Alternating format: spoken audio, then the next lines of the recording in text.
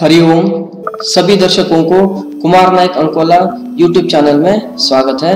दोस्तों, आज मैं अपने शूज़ का सोल जो है, उसका रीसोल करने, यानी कि सोल का रिपेयर बोल सकते हैं, या रिट्रेड और नया रबर चढ़ाने का बहुत आसान तरीका करके दिखाता हूँ। एक्चुअली क्या है ना, हम लोग कॉस्टली शूज़ सैंडल्स लेते हैं, उसके कंटिन्यूस यूज़ से उसका सोल जो है घिस जाता है। मगर ऊपर से देखे तो एकदम अच्छा दिखता है। इससे हम लोगों को उसे बाहर फेंकने के लिए मन नहीं करेगा। तब आप लोग ये मेरा वीडियो देखकर बहुत आसानी से उसका रिसोल करके और कुछ दिन बहुत खुशी से यूज़ कर सकते हैं। मेरा ये वीडियो देखने के बाद मेरा वीडियो को एक लाइक कीजिए और चैनल को शेयर एंड सब्सक्राइब करने के लिए आपसे मैं सभी से रिक्वेस्ट करता हूँ। चलिए दोस्तों, अब हमारे शूज़ का रीसोल या रिपेयर करने का आसान तरीका दिखाता हूँ।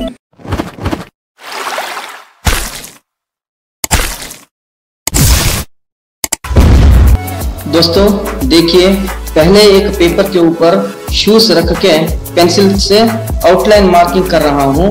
इससे टायर शॉप में जाके इसी साइज़ का कट पीस लाने के लिए हेल्प होता है।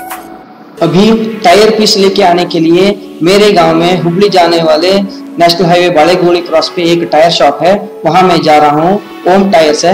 इसी तरह आपके गाँव में भी टायर शॉप्स रहेंगे, वहाँ से आप शूज़ का सोल लगाने के लिए टायर के कट पीस लेके आइए। अभी टायर शॉप में मोटा सा दो पीस मिला है, उसमें से ऊपर वाला पतला सा पीस मैं मेरे काम के लिए इस्तेमाल कर रहा हूँ। देखिए अभी। अब मैं टायर पीस के ऊपर शू रख के पेंसिल की सहायता से मार्किंग कर लेता हूँ।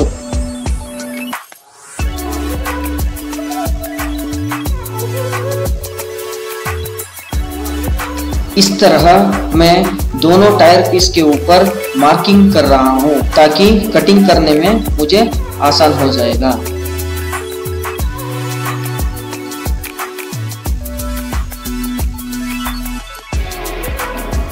अब टायर पीस कट करने के लिए मेरे घर में रहने वाला एक चाकू लिया। उससे ठीक मार्किंग लाइन के ऊपर से कट करते जाता हूँ। इस तरह दोनों शूज़ के लिए दो टायर पीस ठीक उसी साइज़ के मुताबिक कट कर लिया।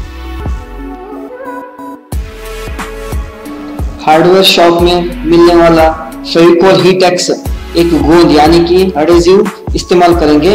ये डब्बा ओपन करने के बाद इसे एक स्टिक लेकर ठीक से मिक्स कर लेना चाहिए। देखिए, अभी ये मिक्स कर रहा हूँ। मिक्स किया हुआ गोंद को टायर पीस और शूज़ के नीचे वाले हिस्से पे इसी तरह लगाइए।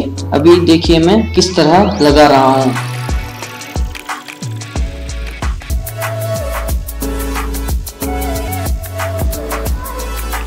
गोंद दोनों पे डालने के बाद 10 सेकेंड टाइम छोड़िए, उसके बाद दोनों हाथों पे वो लेकर आप इसी तरह फिक्स कर सकते हैं। देखिए कैसे मैं अटैच कर रहा हूँ। देखिए, दबाना चाहिए।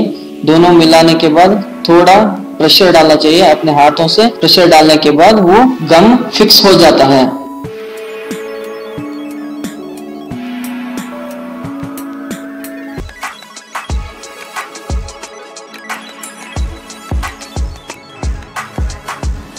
दोनों हाथों से फोर्स लगाने के बाद, अभी मैं क्या करता हूँ, एक दिन के लिए उसके ऊपर एक बड़ा वज़न, यानी कि ब्रिक्स रख रहा हूँ। देखिए ठीक उसी, उसके ऊपर ही ब्रिक्स रखना चाहिए, क्योंकि वो ठीक से फिक्स हो जाए। और एक शूज़ का भी इसी तरह करके बड़ा वज़न उसके ऊपर रख के 24 घंटा या एक दिन रखता हूँ। इससे वो दोनों ठीक से फिक्स हो जाएगा। देखिए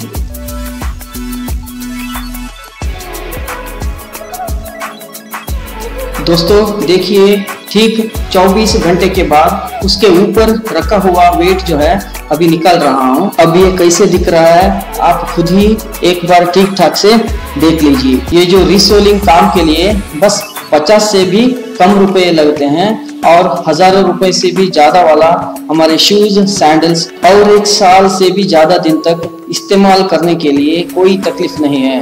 ये वीडियो देखने के बाद कमेंट बॉक्स में आपके राय लिखिए। वीडियो को लाइक करके मेरे चैनल को शेयर एंड सब्सक्राइब कीजिए। अब तक ये वीडियो देखने के लिए धन्यवाद।